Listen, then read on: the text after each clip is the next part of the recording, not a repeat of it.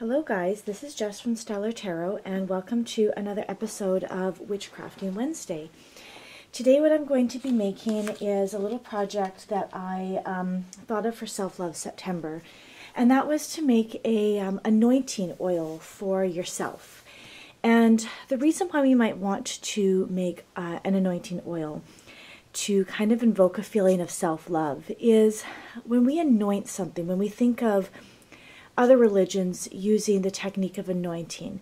We think of marking them as sacred with some divinely blessed oils or waters or, you know, basically to infuse it with the divine energies and the properties of a deity. So, in witchcraft, we will often use anointing oils to anoint things like candles or sacred objects like our athames or our ritual swords or wands or things like that. And when we do this, we are taking oils, whether we have made them ourselves or we've had other witches that have crafted them, and we infuse them with the properties of um, certain crystals, plants, or herbs, or oils, and we combine them together into a vessel and we bless it somehow.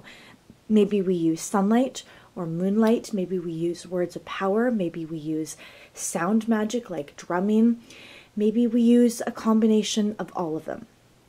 In the end, we end up having a product that is, to us anyways, sacred. And that is exactly what we're going to do today. Now, for the most part, I'm going to be using oils, which I have in this case here.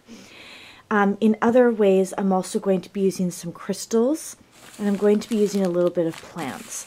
And that's because I like my um, my anointing oils to have a little bit of some of the essences that are in them in order to kind of bring it together um, and kind of make it look cohesive and things like that as well.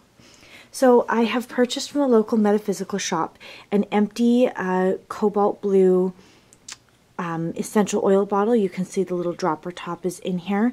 And this is the kind that once you screw it on, you screw it all the way down until this lip part fall um, comes underneath and then um, when you go to uh, open it again it will break the seal on the lid.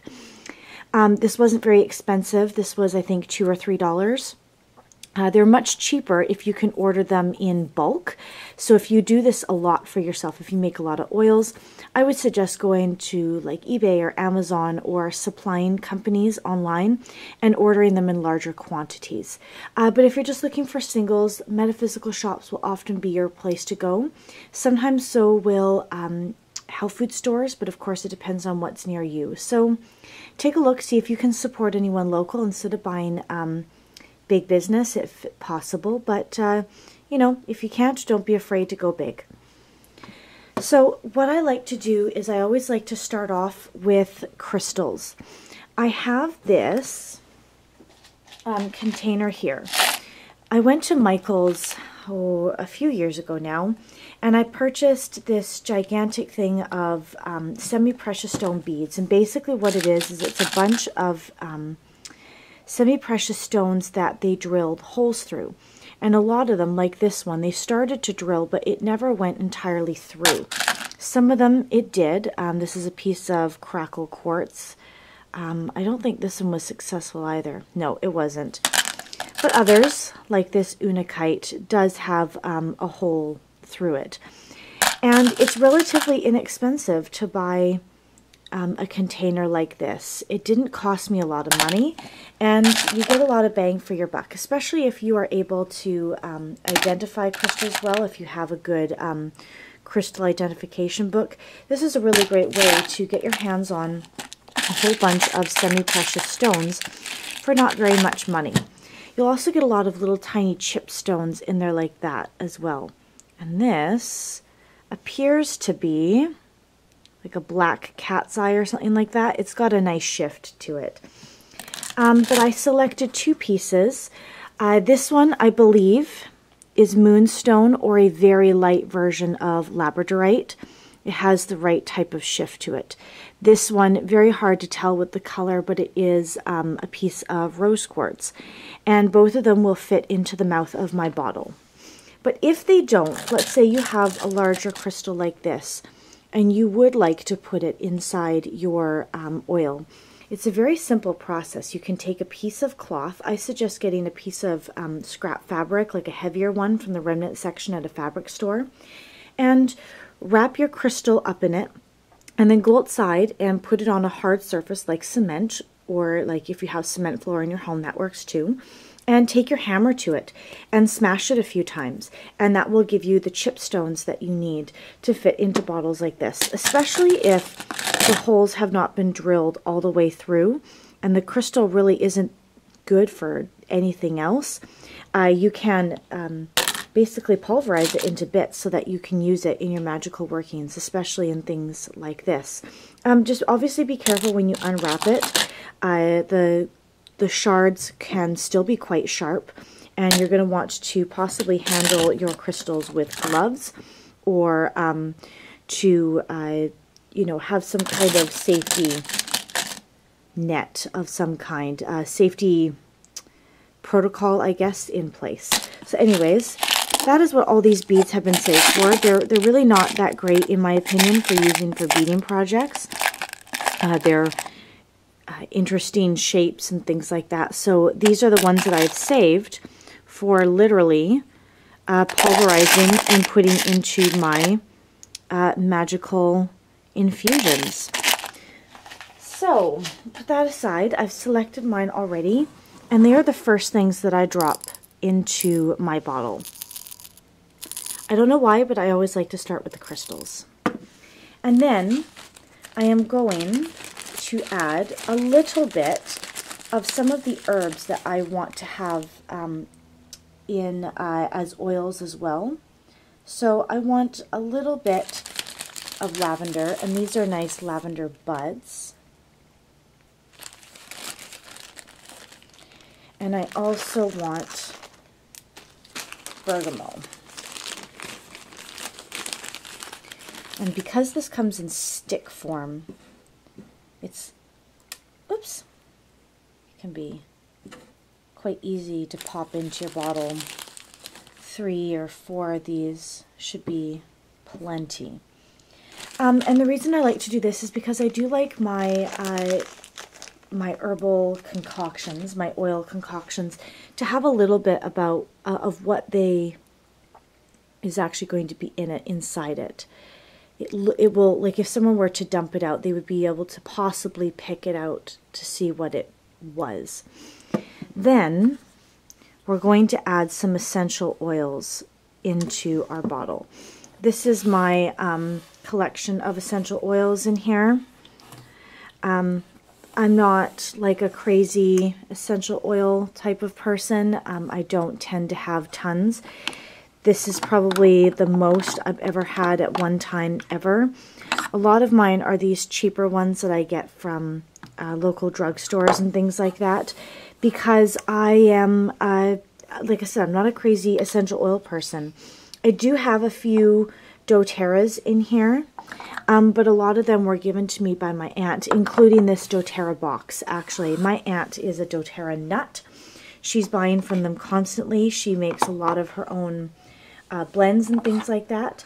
And so she um, uh, outgrew, I guess you could say, her box. She has this box here, and she didn't have um, a use for it anymore. She upgraded to a bigger one, and so she gave this to me because she knew that I did not have one. I thought that was really nice of her.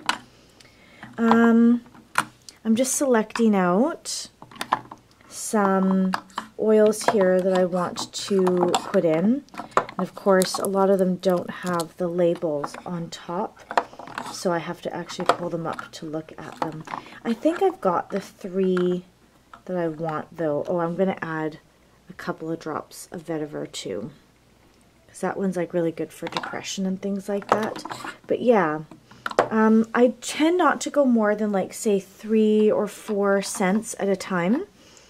And um, because I've got uh, lavender and bergamot in it, those are the ones that I want to be the most prevalent. So I put a few drops of each one that I want in there. So bergamot went in first. Lavender is going to get more because I freaking love lavender. Oh my god. I can't get enough lavender. Ever. I'm going to put one drop of lemon in. Oh, or two because it came out fast. Um, because eh, lemon really complements the the citrusy notes in uh, bergamot.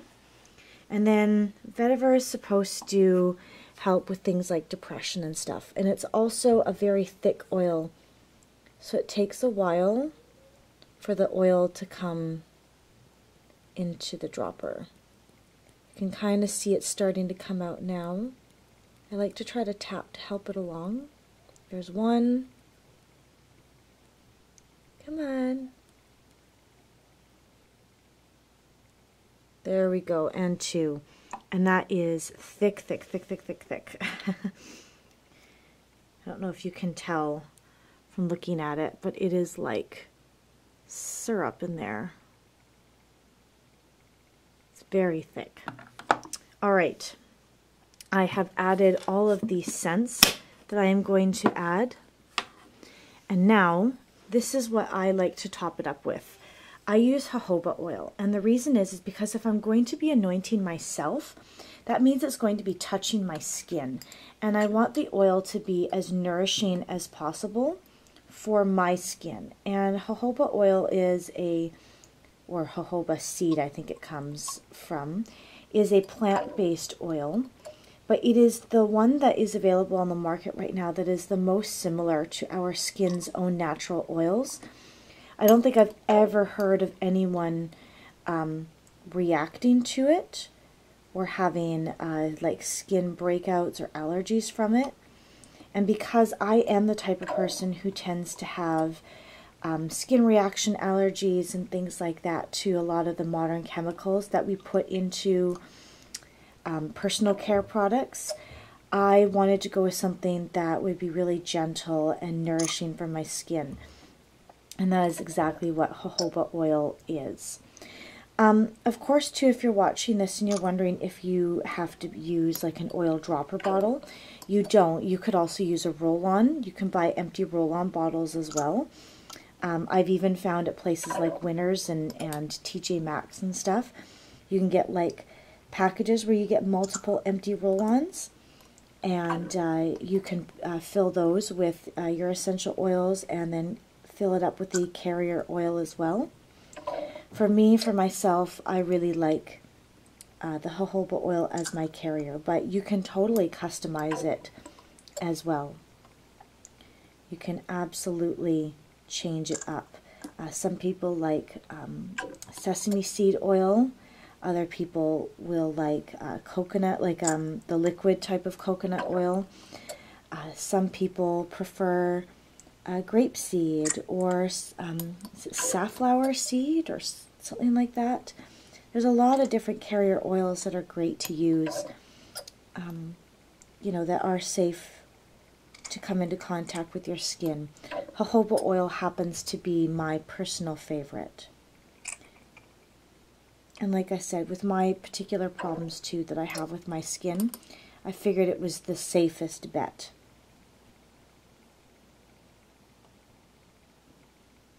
I think I filled it up as safely as I can. Yeah, I'm almost at the neck of the bottle there. So I'm going to drop my dropper in with my lid. And I'm going to keep turning. Okay, it slid down to the bottom there. And I heard that nice click. Yeah, there we go. It's separating from the ring.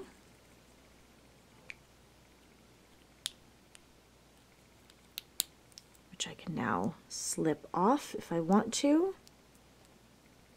I will leave it there though. And there is my dropper into place.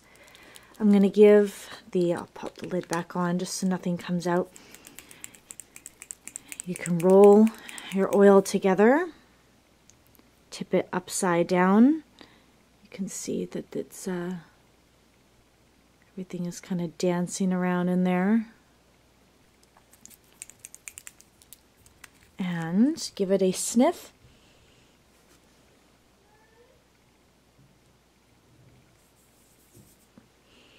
Mm, yes, that's lovely. It does have mostly a um, lavender scent to it, but there are the hints of the bergamot and a little bit of lemon in there as well. And now what I'm going to do is I'm going to charge this. So you infuse, um, to charge uh, your oil is to infuse it with your magical intent and uh, your magical purpose and energy. So for me, one of the first steps is going to be popping this um, on the windowsill tonight and having it spend a couple of nights under the light of the new moon. And uh, to me, that's really important because the new moon really has a um, a special meaning for me. And, or so I guess technically it's the dark moon. Pardon me. The dark moon has special meaning for me. You want to hold it up for them? It's down here. You got to do it down there. Here you go. So this the the dark moon has special meaning for me, who my matron goddess is, and things like that. So I am uh, going to pop that onto uh, the windowsill for a couple of nights, and when it's finished charging uh, on the windowsill, then I am going to um, do my little uh, consecration ceremony with it where I'm going to, um, at my altar, spend a bit of time holding it and infusing it with, no, you don't go in there, uh, infusing it with my intentions and my energy and my purpose, which is to assist me in my journey with self-love uh, to remind myself on the everyday that I am sacred and that I am divine and I am worthy of divine love and, and attention and things like and that. And I found this crystal. Yeah, right there. See, you could show it to them right there. There you go. So that is how you make your own uh, magical anointing oil. I hope that you guys found this video informative and um, I hope it's inspired you to make your own. And if it has, I would love to know what types of herbs and oils and crystals you chose and um, how you enjoyed the process. So thank you very much for being Bye. here with me today, guys. Have a wonderful uh, week and Bye. an amazing self-love September. Bye. Bye.